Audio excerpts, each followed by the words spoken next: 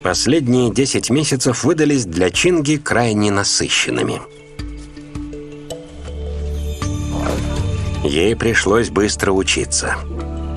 Малышка, вступившая в прайд и познавшая все опасности парка Крюгера, выросла и попробовала мясо на вкус.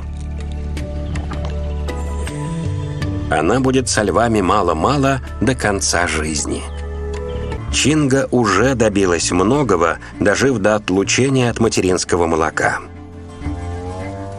Теперь ее ждет следующее испытание.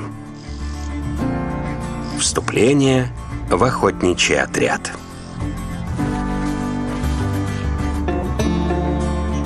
При поддержке Прайда и постоянной помощи сестры дикорожденной Чинге это точно по плечу.